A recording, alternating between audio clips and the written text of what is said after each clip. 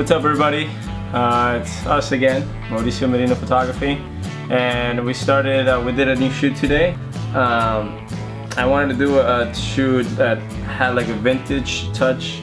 Uh, we like, have like an old. We have so many like vintage props in our house, so we decided to use what we had. Yeah, so we have like a like a vintage typewriter.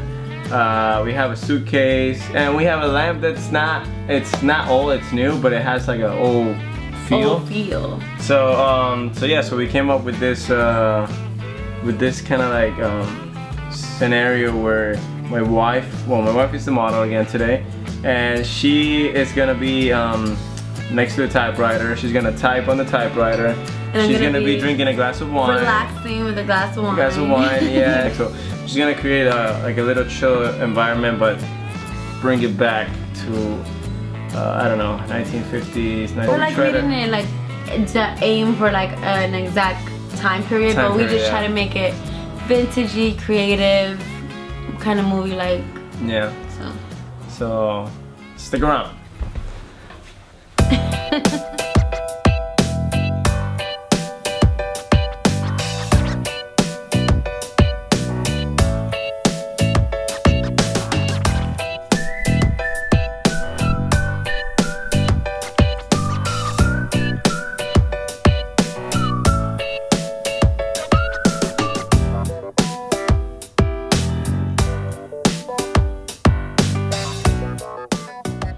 Okay, so so we're gonna start with the shoot right now, and um, uh, what I'm shooting is I'm shooting with my Canon 5D Mark III, the 24 to 70.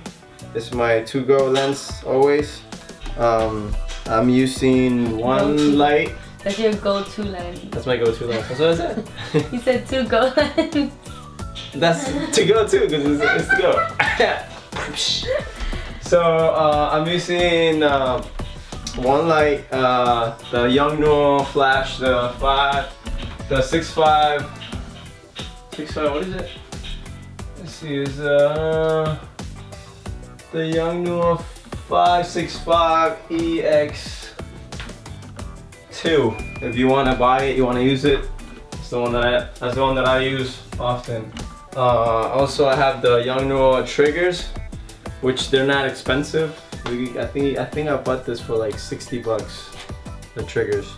Um, then uh, attached to the light, I have a softbox, a small softbox. I think this is like what, like 14 by 14, I think.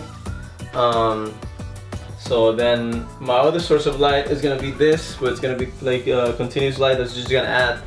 Is gonna be an element on the picture. Um, my model is gonna be here in this couch. She's gonna be um, just sitting down, um, drinking wine or typing uh, on the typewriter, and I'm just gonna take some shots from there. Um, I'm gonna turn the light off in a, in a, little bit just to create more drama in the scene. Uh, so what else am I missing? Uh, I think that's about it. So my settings on my camera, I one uh, 60th of a second, 4.5 the f-stop is 4.5 and uh, ISO is 2000 okay and I also um, have the the temperature number is 42 4200 so it's, uh, that's what I have it on. Okay so let's go. Start shooting. Action. Action. All right. So let's turn off the light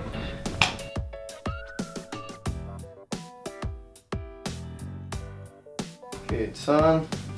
Alright, so let's shoot. Okay, tell me There you go. I'm going, yeah, just, just, uh, just do like if you're typing, like you just type all the time. And once in a while, just grab the, the glass of wine, drink, and then keep typing. Okay. Alright. Okay.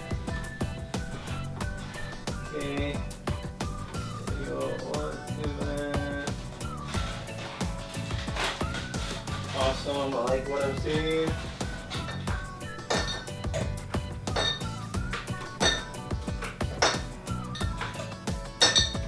That's very cool. I hope you guys uh, enjoy that shoot, enjoy the images. Uh, I hope that we were able to um, inspire you, inspire you, encourage you to do shoots in your house with whatever you have and make it work and be creative with uh, low budget. Not go the crazy spend, spending uh, a lot of money into doing uh, to getting things just to do a shoot, a creative shoot. Um, mm -hmm. So yeah, so we'll see you in our next video. Stay tuned to our channel because more stuff are coming uh, your way. And I just received a call from Hello? See? Give me weird. Shut up, my dad. Stop it. Alright. Bye.